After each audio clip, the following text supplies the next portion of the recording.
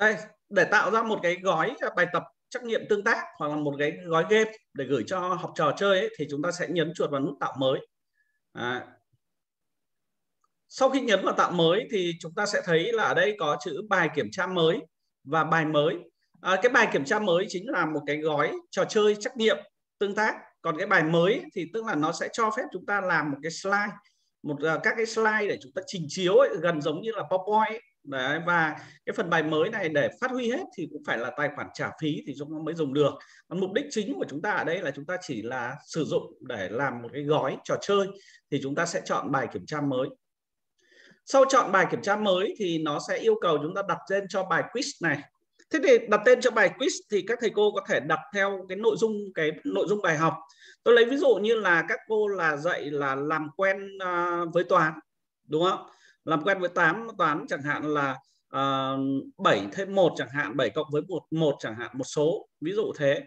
Thế thì chúng ta sẽ đặt tên nó hoặc là làm uh, hoạt động phát triển ngôn ngữ chẳng hạn. Thì cô có thể ghi lại cái nội dung là chuyện tích chu chẳng hạn hoặc là là làm khám phá hạt đậu chẳng hạn. Đấy thì các cô sẽ đặt tên. Và chúng ta hiểu là trong một cái quiz này này nó sẽ có nhiều câu hỏi. Ừ. thì ở đây tôi sẽ nhập vào. Ví dụ tôi đặt ở đây là um, khám phá đi. Xã hội. Đấy ví dụ bài của chúng ta bài khám phá xã hội thì chúng ta ví dụ như là em yêu Hà Nội. Đấy ví dụ thế.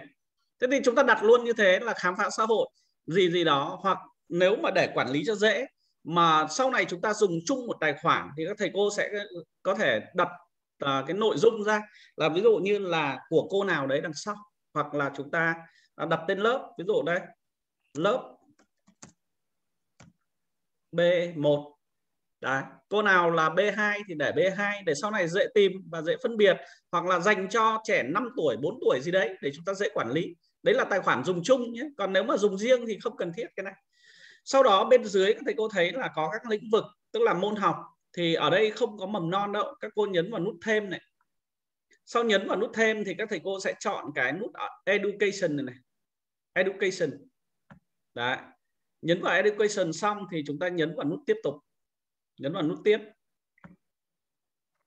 khi này là chúng ta đã đặt xong một cái tên, cái gói bài tập và chọn đồng bộ đến cái cái à, môn hoặc lĩnh vực và vào đến đây là giao diện để chúng ta soạn thảo thì ở đây giao diện chọn soạn, soạn thảo thì chúng ta thấy ở phần này là các cái loại bài tập loại câu hỏi. Thì ở mầm non chúng ta chỉ dùng cái loại nhiều lựa chọn này này để chúng ta làm thôi. Tức là tích chọn một phương án hoặc nhiều phương án.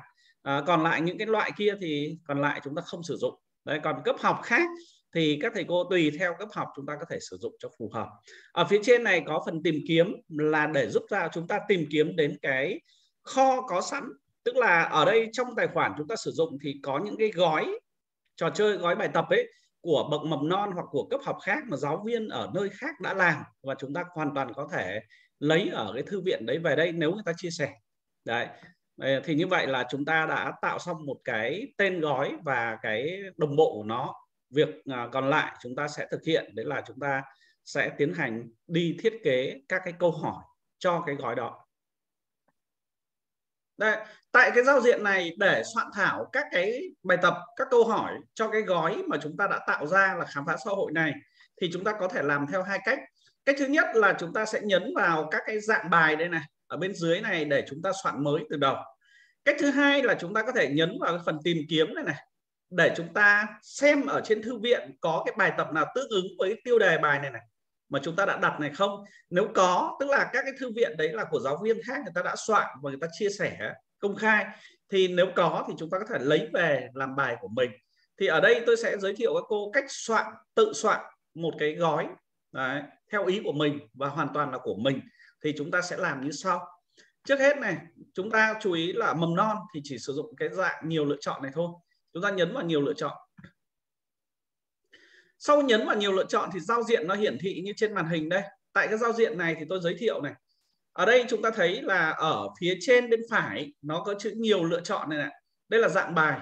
Đấy, các cô có thể chọn sang dạng khác nhưng ở đây là chúng ta chọn đúng rồi thì ta để nguyên. Thứ hai là ở phía bên trái này nó có ba cái thẻ.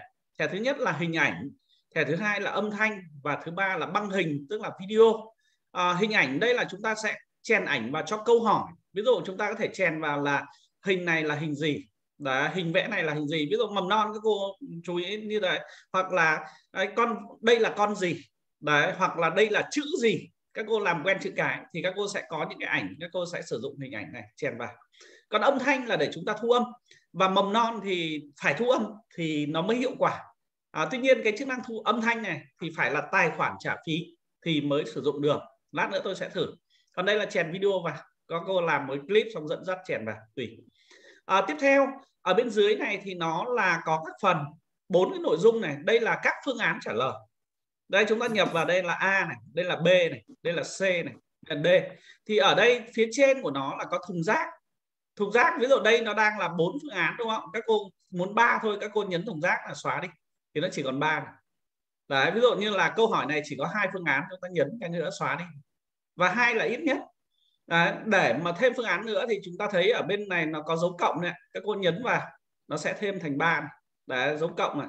Lại thêm phương án nữa. Đấy bớt và thêm. Tiếp theo ở cạnh thùng rác là thay đổi tùy chọn thành hình ảnh. Tức là nếu chọn này thì nó sẽ chuyển sang chế độ là chèn ảnh. Tức là phương án ABC này này sẽ là phương án chèn ảnh. Ví dụ các cô có thể là có câu hỏi là gì ạ? Um, hình ảnh bên dưới um, trong các ảnh uh, dưới thì đâu là lăng bác chẳng hạn. Thì cô sẽ chèn ảnh tháp rùa này ảnh, ảnh lăng bác này ảnh đền ngọc sơn này ảnh văn văn miếu thì trẻ sẽ chọn dạng hình ảnh thì chúng ta sẽ chọn ảnh ở đây. Còn fx thì mầm non không dùng. Đấy fx là gõ công thức ký hiệu toán học thì không dùng chúng ta dễ quá. Được chưa còn cái nút tích này này là để chúng ta tích vào xem đâu là phương án tức là đâu là đáp án thì chúng ta tích vào tiếp tục bên dưới này thì các cô thấy nó có phần rất quan trọng là nhiều hơn một câu trả lời đúng. Nếu nhấn vào đây ấy, thì có nghĩa là chúng ta sẽ được chuyển dạng bài. À, chúng ta bật lên nó đang bị tắt này. Các thầy cô thấy cái nút tròn này, đang tắt. Tức là khi nào chúng ta thấy cái nút này tắt thì cái dạng bài của chúng ta nó là bài tập một đáp án đúng. Có nghĩa là gì ạ? Trong bốn phương án này chỉ có một phương án đúng thôi. Đấy thì đấy là dạng một đáp án đúng. Còn nếu các cô tích vào đây này thì nó trở thành nhiều phương án đúng. Ví dụ như câu hỏi như này, trong các hình ảnh bên dưới thì đâu là hình ảnh của Hà Nội? Đấy, ví dụ thế, thì có cô là chèn vào bốn cái ảnh, một cái ảnh là đền hùng, một cái ảnh là cầu trường tiền ở huế, một cái ảnh lại là lăng bác và một cái ảnh là công viên thủ lệ. Đấy, thì như vậy nó sẽ có ảnh lăng bác và ảnh công viên thủ lệ là của hà nội. Thì như vậy trường hợp đây chính là nhiều hơn một câu trả lời đúng thì các cô muốn mà sử dụng dạng nào thì chúng ta bật lên. Chỉ có hai cái đấy đơn giản. 30 set, tức là 30 giây, tức là nó tính giờ thì các thầy cô để nguyên. Chủ đề không gì để nguyên. Hủy là bỏ hẳn luôn, không lưu bài nào tập này nữa. Sau đó là khi mà tích phương án đầy đủ thì cái lưu vào này nó hiện lên, thì ta sẽ soạn. Bây giờ xin mời theo dõi, tôi sẽ soạn thảo. Ví dụ đây. Tôi sẽ soạn ở câu hỏi này là hoàn toàn là chữ trước à, lát nữa thì dạng bài thứ hai thì tôi sẽ làm thử là dạng uh, hình ảnh sau đấy thì chúng ta sẽ thực hành đây câu hỏi đơn giản thôi 2 cộng 3 bằng hỏi chấm Đấy, các cô chú ý là không gõ câu 1, câu 2 nó sẽ tự sinh ra nhé. Chúng ta không gõ. Sau đó chúng ta gõ đây.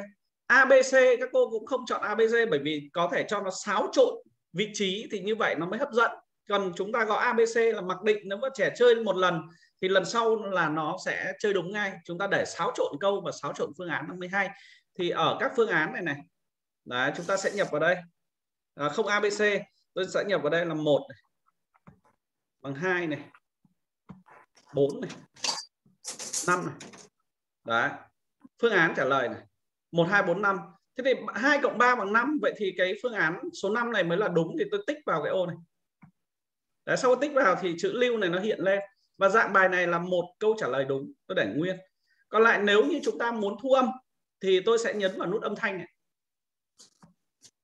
Sau nhấn vào âm thanh ấy, thì chúng ta thấy là xuất hiện cái giao diện này ghi. Nếu nhấn vào đây thì tôi sẽ thu âm được. Và tối đa là cho chúng ta thu âm 3 phút thoải mái luôn đọc đúng không? Hoặc là các cô thu âm sẵn bằng điện thoại hoặc thiết bị nào đó thì có thể nhấn vào tải lên MP3 là được. Bây giờ tôi thu âm thử này. Em hãy cho biết 2 cộng 3 bằng mấy? Em hãy nhấn chọn phương án trả lời tương ứng bên dưới.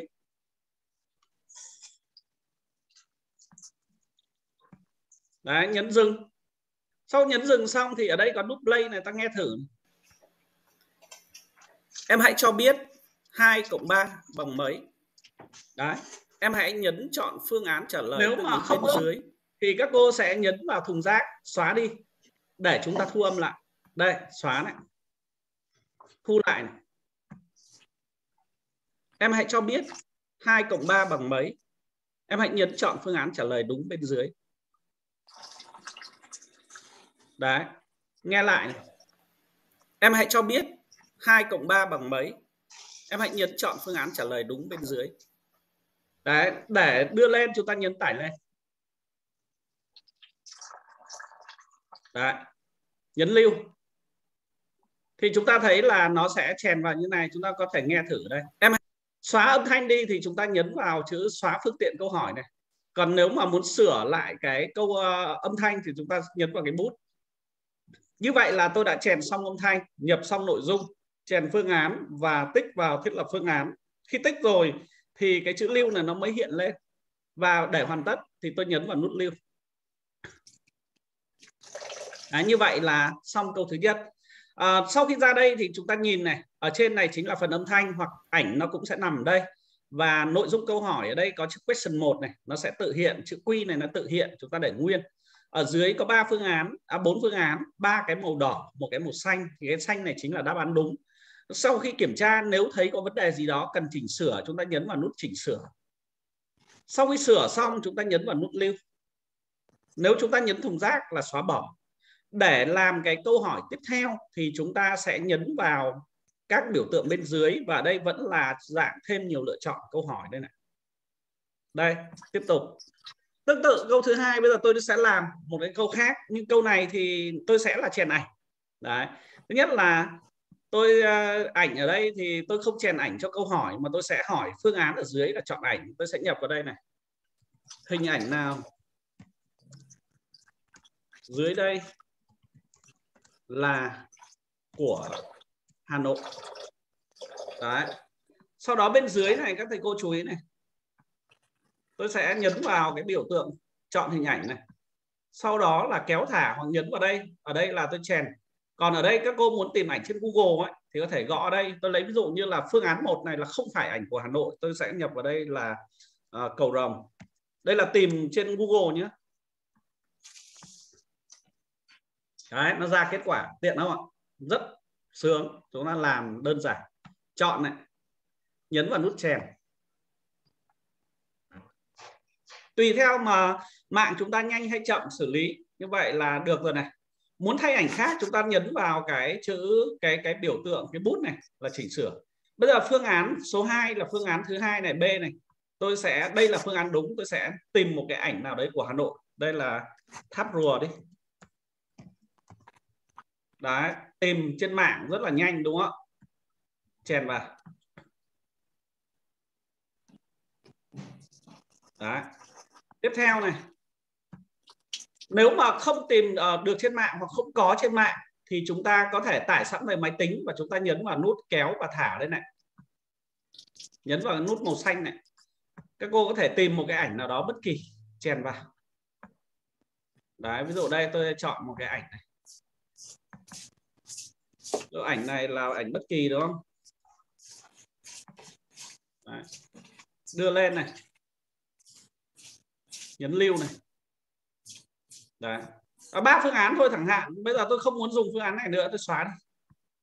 Đấy, sau khi mà xong ba phương án thì tôi tích vào cái phương án thứ hai này. Đây chính là tháp rùa là ảnh của Hà Nội. Đúng không? Muốn thu âm tôi lại nhấn vào âm thanh. Tôi nhắc lại chức năng âm thanh phải là tài khoản trả phí. Nhấn ghi này. Em hãy cho biết trong những ảnh dưới đây ảnh nào là của Hà Nội? Em hãy trả lời bằng cách nhấn chuột vào ảnh đó nhé đấy. Tải lên. Nhấn lưu. Rồi sau đó là nhấn tiếp vào lưu. Đấy, như vậy được hai câu. Đấy. tương tự như vậy chúng ta sẽ thấy ở dưới này. Chúng ta lại chọn làm câu thứ ba. Đấy. Nó khá là đơn giản như vậy thôi. À, chúng ta nếu như mà chúng ta chọn ở đây là chúng ta soạn mới từ đầu nhưng vừa rồi là chúng ta làm hai câu đó. Thế thì bên cạnh đó thì các thầy cô cũng có thể là lấy từ thư viện có sẵn tức là ở trên cái hệ thống PC này này là có những giáo viên khác người ta cũng đã thiết kế và có thể người ta chia sẻ cho chúng ta ấy thì chúng ta sẽ lấy từ thư viện đó như thế nào? Các thầy cô chú ý này. Muốn lấy từ thư viện các thầy cô đặt chuột vào cái phần à, phần phần ô tìm kiếm ở phía trên này. Đặt chuột vào sau đó các thầy cô nhấn vào nút tìm kiếm. Khi nhấn tìm kiếm này thì nó sẽ xuất hiện.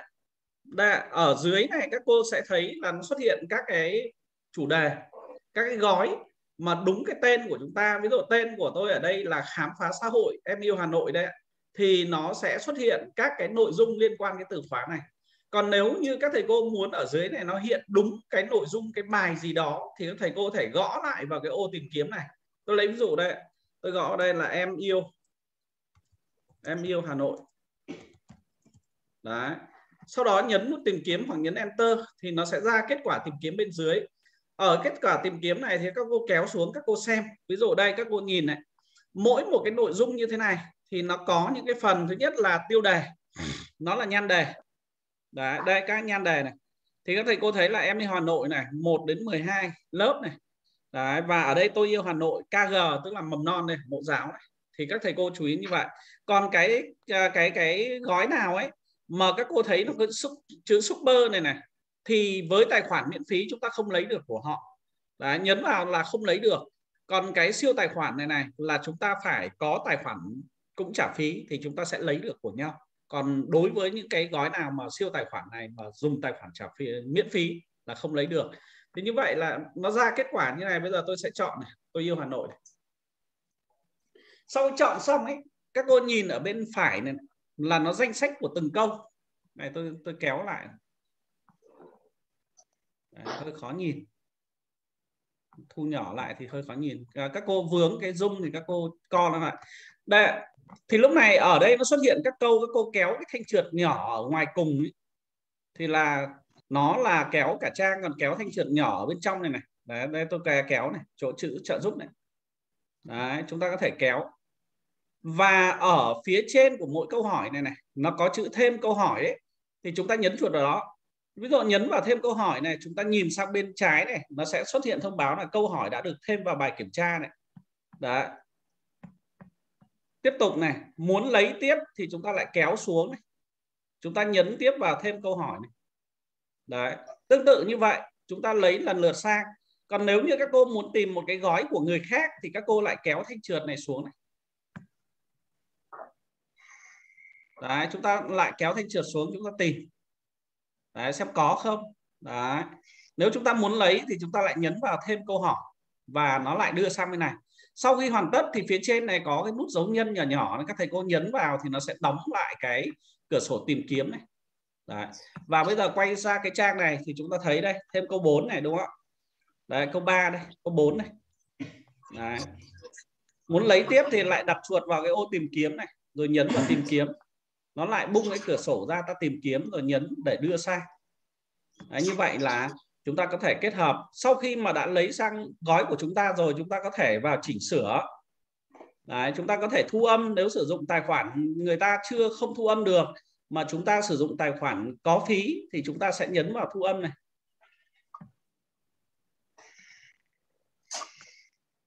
Em hãy cho biết bộ đội ta tiến về tiếp quản thủ đô từ mấy cửa ô?